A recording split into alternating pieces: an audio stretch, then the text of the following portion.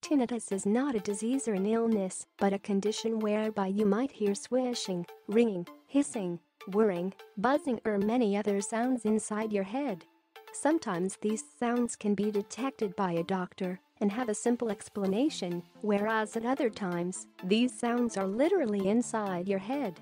If you have suffered from this condition for any length of time, then you might be wondering if it is possible to learn how to treat tinnitus naturally.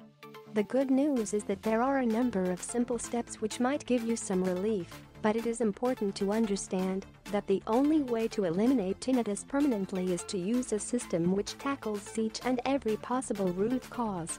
Once you have had a medical checkup to verify that there is no serious underlying cause, you may wish to try the following techniques which have been used with a degree of success by people like yourself, trying to learn how to treat tinnitus naturally.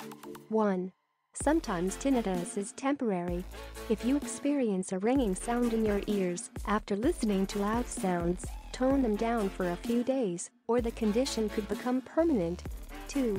If you already have tinnitus, try to keep the noise around you at a low level as more sound can make the condition worse. In general, if you have to raise your voice to speak, then the surrounding sound is simply too loud. 3. If you have little control of the sound around you, say in your working environment, use earplugs. Any of the proprietary types available cheaply are fine, such as foam, rubber or moldable wax. 4. Many sufferers notice a worsening of their symptoms at night time. Tuning a radio just outside a station, so all you hears is static and keeping it next to your bed at night should provide enough of a distraction to help you sleep. 5. Some people report that their tinnitus goes when they are in the shower. Of course, it is simply the noise of the shower which is masking the sound.